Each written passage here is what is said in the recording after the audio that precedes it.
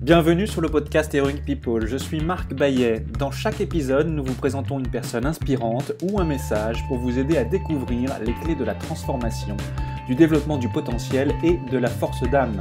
Nous apprenons les uns des autres et trouvons en soi le héros de notre propre vie. Partager nos convictions, partager nos vulnérabilités, dépasser nos peurs, se transformer pour pouvoir transformer le monde, agir ensemble. Jusqu'où peut-on aller? Merci de passer du temps avec nous aujourd'hui. Connaissez-vous le mot homéostasie? L'homéostasie, c'est la tendance de l'organisme à maintenir ou à ramener les différentes constantes physiologiques, que ce soit la température, le débit, le sanguin, la tension artérielle, à des degrés qui ne s'écartent pas de la normale. Notre organisme humain cherche constamment l'homéostasie, cet état qui lui assure la bonne santé. Lorsque nous mangeons trop salé, sucré ou transformé, il est obligé de se défendre et de lutter pour retrouver cette harmonie. Ce mécanisme crée de l'inflammation, elle-même à l'origine de différentes maladies, le cancer, le diabète, les maladies cardiovasculaires, les maladies auto-immunes, inflammatoires, etc. Pour rester en bonne santé, il nous faut donc bouger tous les jours, s'éloigner des toxiques. Pollution, stress, aliments ultra transformés, consommer des végétaux à chaque repas. Pourquoi tombe-t-on malade? Manger sain et équilibré, pourquoi? Comment révolutionner son alimentation pour être en bonne santé? Cyril Laporte, bonjour. Vous êtes médecin cancérologue, titulaire d'un diplôme universitaire en nutrition santé et micronutrition. Vous accompagnez vos patients dans la découverte d'un nouveau chemin, celui de manger sain pour un retour à la pleine santé, mais aussi dans des contextes de prévention des maladies cardiovasculaires et maladies chroniques. Vous êtes également l'auteur du livre La nouvelle révolution alimentaire, un livre coécrit avec Pierre Joyot. Vous venez nous donner des clés concrètes pour mettre notre alimentation au service de notre santé, développer notre énergie et notre vitalité, mais aussi nous parler de ce qui vous anime dans la vie et de ce que cela signifie pour vous qu'être le héros de sa propre vie. Au préalable, une première question pour vous. Cyril, comment occupez-vous votre temps sur notre planète Terre De deux façons je m'occupe de moi et je m'occupe des autres. Pour s'occuper des autres euh, et être en lien euh, avec, avec les autres humains ou avec la nature, avec ce qui nous entoure, on a avant tout besoin de s'occuper de soi.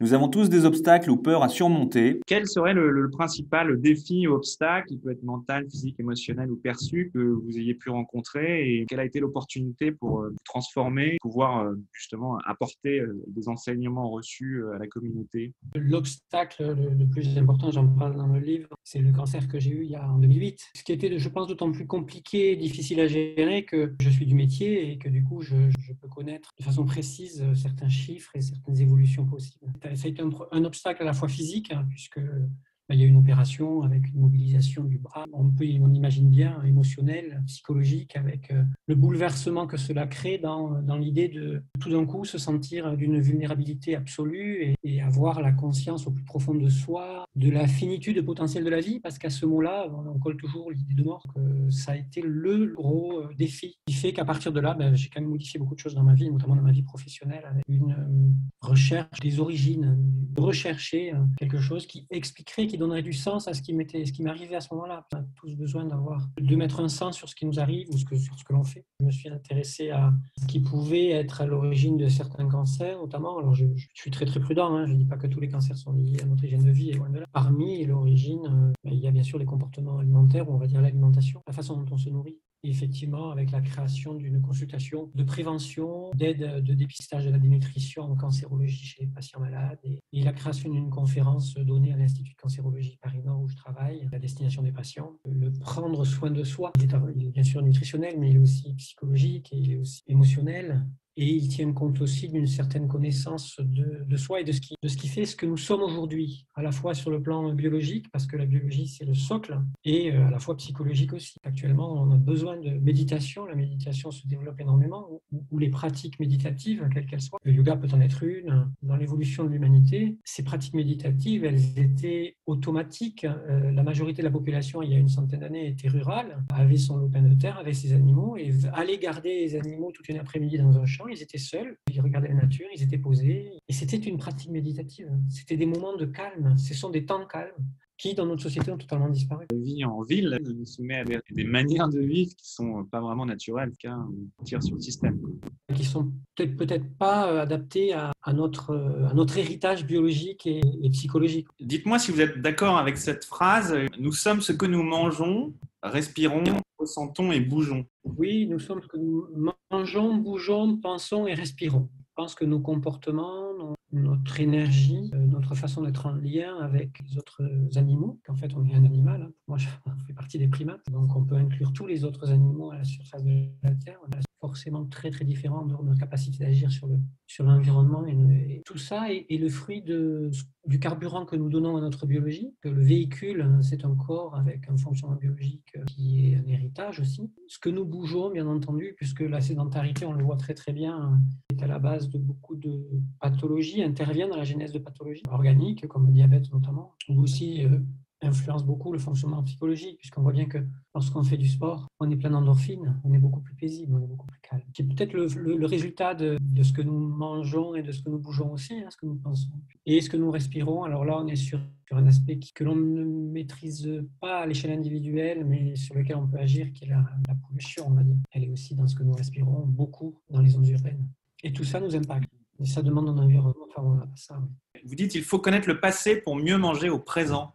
Qu'est-ce que ça signifie? Notre biologie, c'est le fruit d'un héritage. En fait, en fait ce que je dis aussi, c'est que notre biologie est limitée par notre histoire. C'est-à-dire que la façon dont notre corps fonctionne, sur le plan biologique, mais sur le plan émotionnel, on peut mettre exactement la même chose. Cette façon dont le corps fonctionne est un héritage et c'est limité par cet héritage. On a, euh, sur les 400 000 ans derniers, construit quelque chose dans le milieu dans lequel nous évoluons. En fait, notre biologie s'est construite de cette façon-là et notre, le contexte émotionnel aussi, certainement. Ce que nous sommes aujourd'hui, c'est le fruit du passé. Ou avoir une idée de la façon dont l'humanité a évolué peut nous aider à, mieux connaître ce qui est adapté. Et pas besoin de remonter très très loin. En revanche, on peut se rendre compte que sur les 50 dernières années, l'éloignement de ce milieu dans lequel on a toujours évolué est, corrélé avec l'apparition de toutes les maladies de civilisation. Des, exemples de maladies de civilisation? Le diabète de type 2, c'est une maladie qui apparaissait il y a encore une vingtaine d'années, euh, autour de 55-60 ans, parce que c'est le fruit d'un dérèglement de la façon dont le corps va gérer le sucre ou les glucides en général. Et euh, il y a une vingtaine d'années, les personnes qui tombaient malades avec ce diabète de type 2 avaient une soixantaine d'années parce que dans leur enfance, elles n'avaient pas été précocement soumises à des aliments euh, transformés, très riches en sucre ou en glucides. Je vois euh, des, jeunes femmes qui ont des cancers du sein à l'âge de 25-30 ans et qui ont déjà un diabète de type 2 parce qu'elles ont été soumises très très très tôt, euh, dès l'âge de 2 ans, dès la diversification alimentaire, à des aliments malheureusement trop glucidiques. Terminer le repas par un yaourt sucré ou une crème dessert à deux ans, ben, ça fait le lit de, ce dérèglement de, de, la gestion de la glycémie et ça fait le lit du, diabète de type 2. Pour faire une maladie de civilisation, il faut quoi 25-30 ans? Le corps va maintenir cette homéostasie pendant 20, 25, 30 ans et au bout de 20, 25, 30 ans, il va lâcher l'affaire en fait. Si rien n'est fait, bien sûr. Et du coup, apparaît la maladie, notamment le diabète de type 2. Toutes les maladies cardiovasculaires sont aussi des maladies de civilisation. Hein. Lorsqu'un enfant vient au monde, la première chose qu'il fait, c'est de respirer. Ensuite, il sein de sa mère, il dort, il élimine ce qu'il a. Est-ce qu'on peut dire, pour schématiser en fait le système euh, humain, que la respiration, l'alimentation, le sommeil, puis ensuite l'élimination sont vraiment les programmes, les lois de base qui nous permettent à nous, les hommes et les femmes, de fonctionner et d'aimer, de penser et d'agir et d'orienter vers euh, le bien commun les autres? Oui, je, crois. Se nourrir, se reposer, avoir euh, bougé, bien entendu, et éliminé, puisque nous sommes un organisme ouvert. Lorsqu'on produit euh, de l'énergie, ben, on crée des déchets, on les élimine. Et on le voit dès, qu'il y a des, troubles d'élimination. Alors, si on, empêche les reins de fonctionner à quelqu'un, ben en fait, il vit quoi? S'il n'y a pas de dialyse derrière, il va vivre quelques jours. Et on empêche une élimination. Il y a une accumulation de toxines. On finit par avoir des gens qui sont confus, qui deviennent un petit peu déments euh, avec une, un décès rapide. Oui, ce sont des lois qui sont à l'échelle du corps et que l'on retrouve à l'échelle de tous les organes et que l'on retrouve à l'échelle de ce qu'on appelle les organites. La mitochondrie, qui est l'usine qui fabrique l'énergie au niveau de la cellule, ben, elle fonctionne comme ça. Elle a besoin de certains types de molécules que ce soit des glucides ou, des corps cétoniques, et elle va, elle va traiter tout ça et elle va fabriquer l'énergie. Et à côté de cette énergie, pour fabriquer cette énergie, elle va créer des déchets qui sont des radicaux libres en général, entre autres. Et ces déchets-là, ensuite, on va les éliminer. Donc c'est vraiment une loi qui, du microscopique au macroscopique, se retrouve à toutes les échelles. Parfois, on est déréglé. Parfois, on est déréglé et on ne s'en rend pas compte. C'est quoi les symptômes d'une mauvaise santé physique et psychique de manière très spécifique? Une fatigue chronique Lorsqu'on a quelqu'un qui éprouve une fatigue chronique euh, un peu permanente, quelles que soient les activités euh, ou non, etc., c'est souvent le signe d'un dysfonctionnement derrière, en fait. Le teint, en fait, le teint des personnes. Alors, je ne parle pas d'avoir une peau très blanche, une peau euh, plutôt allée, bon, c'est pas du tout ça. Il y a un aspect grisâtre. D'ailleurs, on le retrouve chez les grands fumeurs. Il y a un défaut d'oxygénation de la peau euh, un peu global qui peut être lié au stress, puisque le stress entraîne une petite constriction des vaisseaux, et donc on vascularise moins, la peau est moins rosée, etc. On peut avoir des personnes qui ont des douleurs tout le temps. Et puis après, des, épisodes, bien sûr, de confusion euh, ou de non-envie. Le, non-désir en psychiatrie, on le range dans les symptômes de la dépression. La fatigue de l'âme, oui, l'épuisement. du coup, pour bien traiter son corps, pour le traiter un peu comme sa voiture, qu'est-ce qu'il faut lui donner comme carburant pour l'entretenir correctement? Chacun est différent après tout. C'est vrai, on est tous différents. Les voitures ont besoin d'un carburant. Si on va parler du parc de voitures euh, à essence a besoin d'un carburant qui est de l'essence. Malgré tout, elles sont toutes différentes parce qu'elles ont des couleurs différentes, elles ont des fauteuils différents, elles ont des, etc. Elles vont avoir des visages différents. Donc elles ont des personnalités, si on fait le parallèle avec l'humain, qui sont différentes. Elles vont avoir un habillage différent, une couleur de peau différente, des cheveux différents. Le socle, en revanche, le socle de fonctionnement de cet habillage, il est commun à tous les sapiens. Et nous sommes tous à la surface de cette terre des sapiens. Et c'est ce socle-là que l'on a oublié et que l'on devrait essayer de retrouver sur le fait de nourrir physiquement et de nourrir émotionnellement et psychologiquement. Donc le carburant, il va être, euh, sur le plan alimentaire, il va être une alimentation variée à prédominance végétale. Je mets légumes et fruits, j'inclus pas les céréales à l'intérieur. Variée à prédominance végétale. Après, le socle émotionnel, on a tous besoin d'affection, on a tous besoin de calme euh, et on a tous besoin de lien le fonctionnement du corps, s'il fallait l'expliquer à un enfant de 6 ans. Est-ce que le jeûne a un pouvoir il est vraiment très très étudié. Il y a beaucoup beaucoup d'études euh, sur le jeûne, la façon dont fonctionne le, corps lorsqu'on le fait, euh, qu'on le met en restriction calorique. Un papier en 2019 dans le New England Journal of Medicine qui a montré vraiment les, effets sur le fonctionnement biologique du corps euh, d'un jeûne intermittent.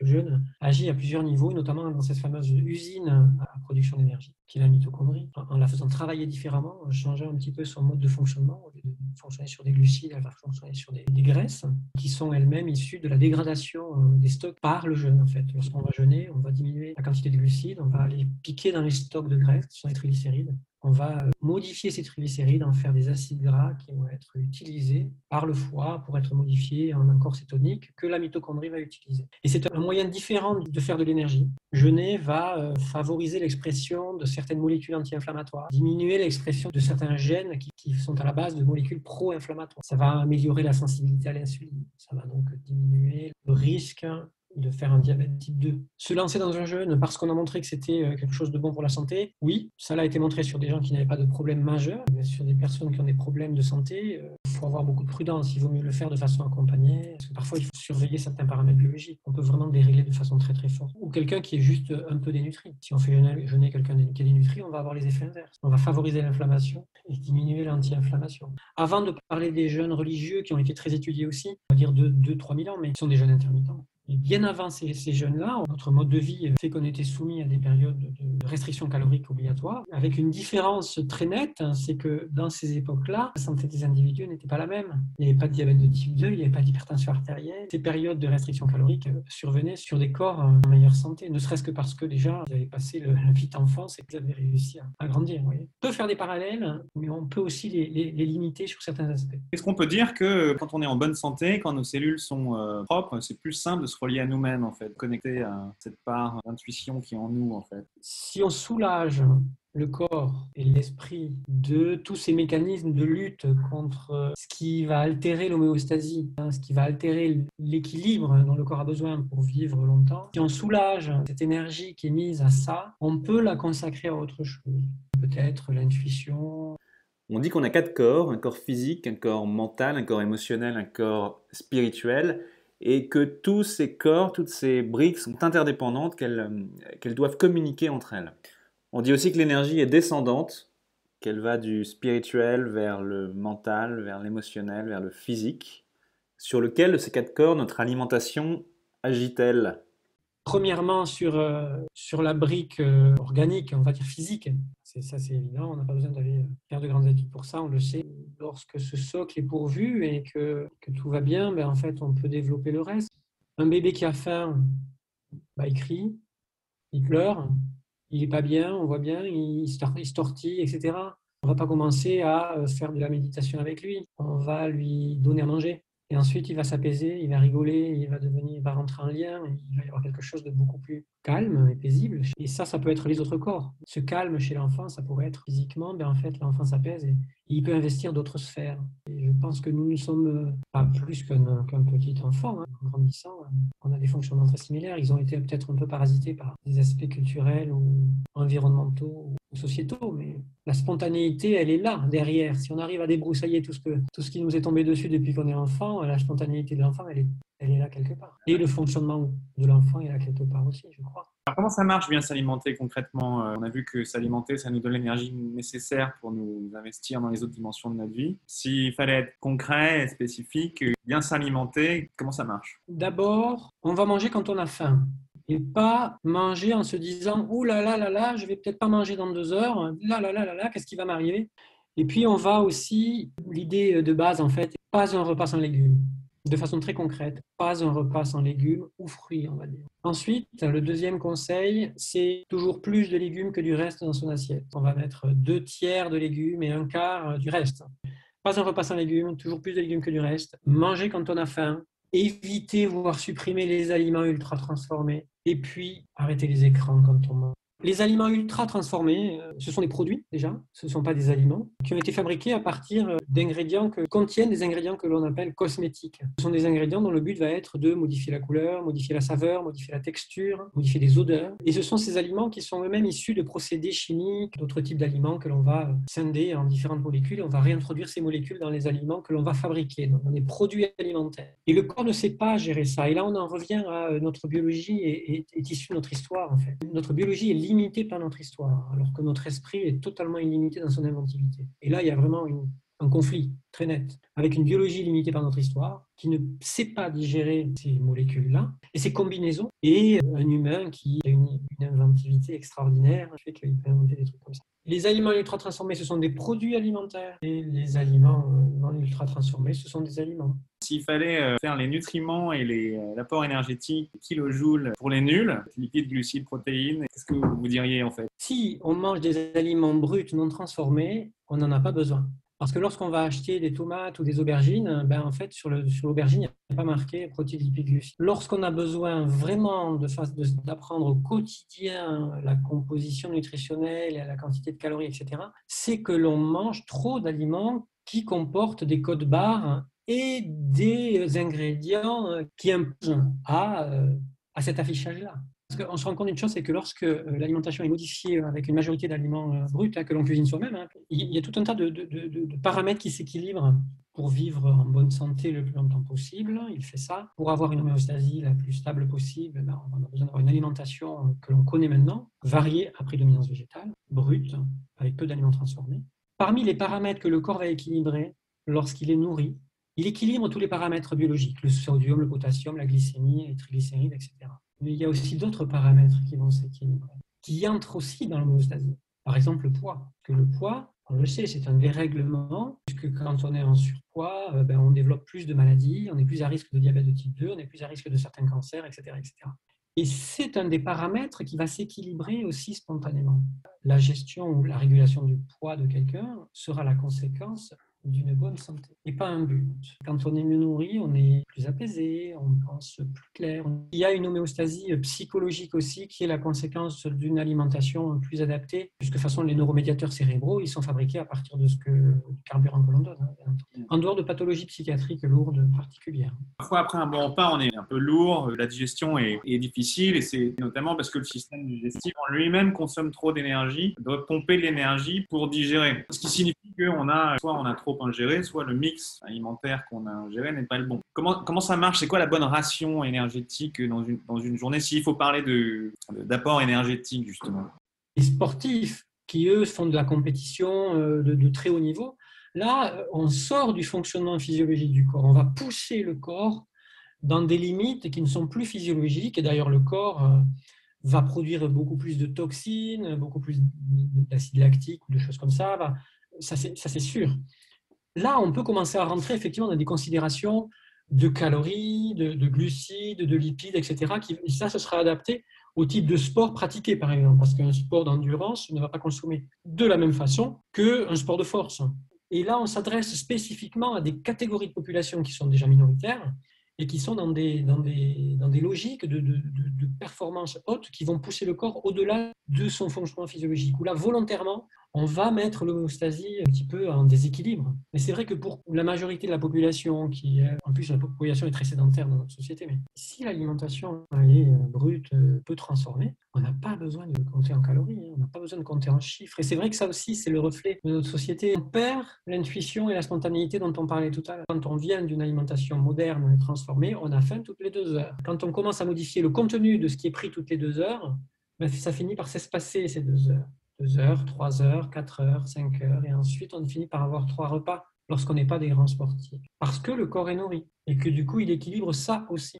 Dans le cadre d'une alimentation à prédominance végétale avec des aliments plutôt bruts, cuisinés soi-même ou cuisinés de façon industrielle, mais pas ultra transformés parce que ça existe, là on peut faire confiance au message de notre corps, notamment la sensation de faim on peut faire confiance à ça et manger quand on a faim. Alors après, on est dans une société avec des, conventions ou, ou des règles hein, familiales, etc., qui font qu'on mange à l'heure fixe.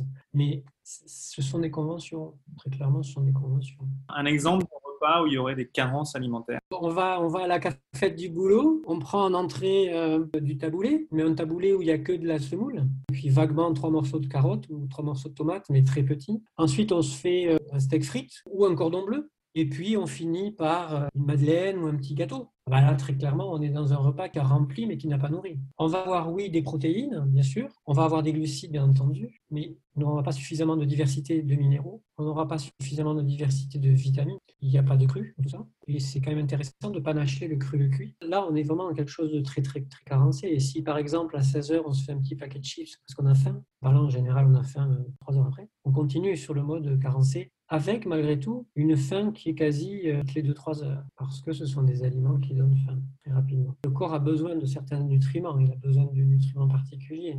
Et si on ne les lui donne pas, ben, au bout de 2-3 heures, il va réclamer de nouveau, puisqu'il n'a pas ce qu'on lui donne.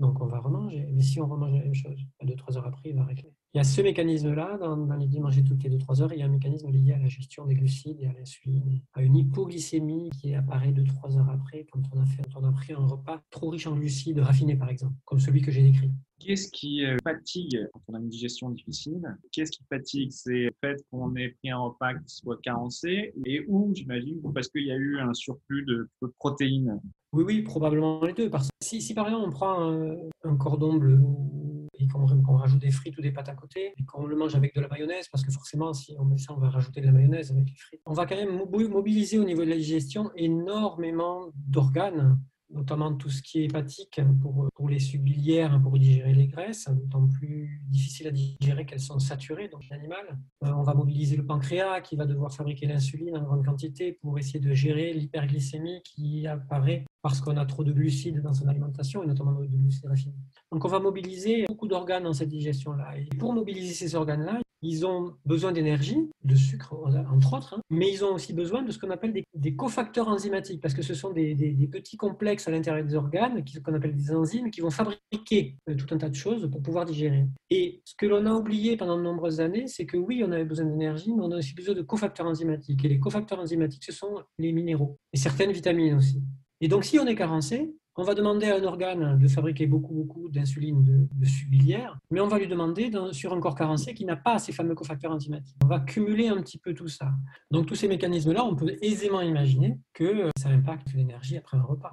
Qu'est-ce que vous préconiseriez à quelqu'un qui se préoccupe de, renforcer son système immunitaire, ou en tout cas de le maintenir euh, à un niveau euh, de performance? Le système immunitaire, il est basé sur euh, un complexe moléculaire euh, qui est fabriqué à partir du carburant que l'on lui donne. On sait que le stress influence aussi l'immunité. Le stress influence aussi l'état immunitaire d'un individu. Donc euh, il y a aussi d'autres mécanismes qui sont peut-être moins, moins moléculaires au sens moins particulaire. Le fonctionnement du corps dans son ensemble, que ce soit l'immunité, est influencé par, par les quatre piliers. Nous sommes ce que nous mangeons, bougeons, pensons et respirons finalement, c'est pas sorcier. Cinq conseils concrets pour bien s'alimenter au quotidien. Pas un repas sans légumes. Toujours plus de légumes que du reste dans son assiette. Éviter, voire supprimer les aliments ultra transformés. Manger quand on a faim. et manger le plus au calme possible, en évitant toutes les stimulations extérieures, notamment les écrans. Et à l'inverse, ce qu'il faudrait faire pour tout rater Cinq mauvaises habitudes alimentaires qui nous mènent à la perte? Une alimentation trop riche en produits d'origine animale ou céréalière. Manger euh, toutes les 2-3 heures parce qu'on ne sait jamais ce qui peut nous arriver. Être toujours dans un environnement hyper stimulant, en fait, euh, qui favorise les comportements un peu comme ça, de, addictifs, de remplissage puis manger des aliments ultra transformés au-delà de 10% de la ration calorique quotidienne. Au-delà d'une barre chocolatée par jour, c'est déjà foutu. Chaque fois qu'on va rajouter 10% de sa ration calorique en aliments ultra transformés quotidiennement, on augmente de 11% le risque de cancer. Qu'est-ce qui est important pour vous dans la vie Trois valeurs essentielles? La loyauté, la confiance au sens très large du terme, et puis la générosité. Merci. Avec qui est-ce que vous rêvez de prendre un café? Ou un thé Edgar Morin. Ses, écrits m'ont beaucoup, beaucoup influencé. Déjà, d'une part, le premier livre que j'ai lu de lui, euh, c'est Introduction à la pensée complexe. Euh, voilà, c'est un livre très connu de lui quand on connaît cet homme. Et la mise en lien d'aspects de, de la vie quotidienne qui sont souvent pensés en silo, de façon trop verticale. Voilà pourquoi cet homme, j'aimerais bien le rencontrer et prendre un café avec lui. Pour quelle chose ressentez-vous le plus de gratitude dans votre vie? À qui avez-vous envie de dire merci? Tout, La vie dans son ensemble, en fait, voilà. Avec les équilibres, avec, avec tout ce qui s'est constitué au fur et à mesure. Et, et, là, vraiment, une gratitude infinie, parce que si nous sommes vivants à discuter aujourd'hui, c'est grâce à tout cet ensemble-là qui est là depuis des milliards, 4 milliards d'années. Et la personne, à, la personne à laquelle je voudrais dire merci, c'est moi, en fait sans être euh, ancré, aligné, aussi paisible que l'on puisse l'être, ben je pense qu'on n'est pas forcément très loyal, confiant et généreux. Et après, il y a un juste équilibre à trouver, une espèce d'égoïsme ou égocentrisme, mais euh, constructif, et puis, euh, puis l'altruisme. Exactement. En fait, l'idée de, de soi, c'est c'est pas la finalité, soi. Se remercier, c'est un moyen pour agir ailleurs après. C'est pas une finalité. Si c'est une finalité, c'est à mon sens mortifère. Si soi-même c'est la finalité, c'est mortifère. Alors que si soi-même c'est un, un moyen, eh bien oui, allons-y c'est un moyen de réalisation d'autre chose, ben forcément, il faut le considérer avant la réalisation d'autre chose. Il y a un proverbe africain qui dit Seul, on va plus vite, à plusieurs, on va plus loin. Qu'est-ce que vous en pensez? Oui. seul, on va plus vite, mais je... Alors attention, seul, on va plus vite, mais à plusieurs, on va plus loin. Ce qui peut sous-entendre que seul, on va plus vite, mais pas très loin. Cette idée mortifère un peu de... du, du choix comme finalité. Parce que le choix comme moyen pour être à plusieurs. Quel conseil ou petit exercice simple et concret pouvez-vous proposer à ceux qui nous écoutent pour commencer à introduire le changement et améliorer tout de suite leur vie et leur quotidien S'octroyer des temps de repos. C'est quelque chose qui manque énormément dans notre société. De vrai repos, hein. pas, un repos avec des écouteurs dans les oreilles et une musique qui, qui est très forte en fait. Je ne pense pas que ce soit du repos, personnellement arriver à s'octroyer des temps de repos, même, même 5 minutes euh, sur une journée, c'est largement faisable, hein, puisque le temps passé devant les écrans dans nos sociétés, il est l'ordre de 6 heures par jour. Je pense qu'on peut couper quelques minutes et s'octroyer ce temps de repos. Il y a le repos, euh, ben, le bien manger, hein. mettre de la couleur dans ses assiettes hein, avec des légumes euh, de saison. En plus, c'est gai, ça fait partie du plaisir aussi. Arriver à écouter ce que l'on ressent, et puis de temps en temps s'octroyer des moments seuls, dans un environnement favorable, apaisant aller dans des forêts, dans des, prairies, dans la montagne. La nature, le grand air. Oui, ça peut être dans un parc aussi en ville. Il y a des parcs qui sont euh, très beaux et qui ne sont pas toujours très fréquentés, et certains horaires. Et, juste ça, parfois, sentir les odeurs qui nous entourent en fait dans un parc. Sentons euh, ce qui nous entoure. Soyons à, l'affût de, de, toutes ces stimulations-là. C'est vrai qu'on apprend par les cinq sens, par le corps, le mot verbal. C'est très anesthésié, ça, dans notre mode de vie moderne, je trouve, hein, puisque une grande partie de la population vit euh, dans des zones urbaines avec des, je, qualifie ça d'hypostimulation sensorielle. Les bruits sont quand même très souvent les mêmes. Hein. Dans les zones urbaines, les bruits, c'est des bruits de moteurs, des bruits de personnes, des bruits d'individus, des, des, bruits de musique, des choses très mécaniques aussi. Les odeurs sont des odeurs qui sont quand même toujours les mêmes, hein, des odeurs de béton, parfois des odeurs moins agréables dans les rues. Et on a vraiment une hypostimulation euh, sensorielle et je pense que ça appauvrit, euh, ça contribue à appauvrir l'humain. L'hypostimulation sensorielle. Pour vous, qu'est-ce que cela signifie être le héros de sa propre vie? Réussir à, soi-même euh, donner un sens à ce que l'on fait, aller au-delà de ce que l'on fait au quotidien, donner un sens plus général à ce que l'on fait, et du coup pouvoir se raconter une histoire. Parce que les héros, en fait, ils ont des histoires magnifiques. Arriver à, élargir le sens de ce que l'on fait pour pouvoir tramer une histoire, quelle qu'elle soit. Euh, pas, pas besoin d'une histoire qui ait une grandeur extraordinaire. Pour vous, qu'est-ce que la force d'âme? La générosité. Spinoza qui avait défini, euh, parler de, de, générosité et de fermeté, je crois. Ben moi, je garde juste la générosité. Euh, la fermeté, c'est quelque chose de vision rationnelle. On est ferme, on a un objectif, un but, et la force d'âme va nous faire tracer jusqu'à ce but-là. Et la générosité, ça va être mettre au service. Hein. Mais la fermeté, c'est au service de la générosité. Et là, je pense qu'on est dans la force d'âme. Merci beaucoup, Cyril. C'est la fin de votre épisode du podcast Heroic People. Merci, merci de nous avoir écoutés. J'espère que cet épisode vous a inspiré et vous a été utile. Si c'est le cas, partagez-le à un ou deux amis par SMS ou sur vos réseaux sociaux. Vous avez le pouvoir de changer la vie de quelqu'un et c'est maintenant. Vous pouvez retrouver cet épisode et son résumé écrit, mais aussi tous les autres épisodes sur le site du podcast heroicpeople.fr. Pour nous contacter, nous faire des suggestions, proposer des invités, c'est toujours sur le site du podcast que ça se passe, heroicpeople.fr, ou encore les réseaux sociaux LinkedIn, Facebook ou Medium. Enfin, sans vous, nous ne sommes rien, avec vous, nous sommes tout. Si vous avez été inspiré par cet épisode, alors laissez-nous un commentaire et quelques étoiles sur Apple Podcasts ou votre plateforme d'écoute préférée. Dites-nous comment le podcast vous a inspiré et contribue à améliorer votre vie. C'est grâce à cela que nous pouvons faire connaître le podcast Heroic People. Merci d'avoir écouté.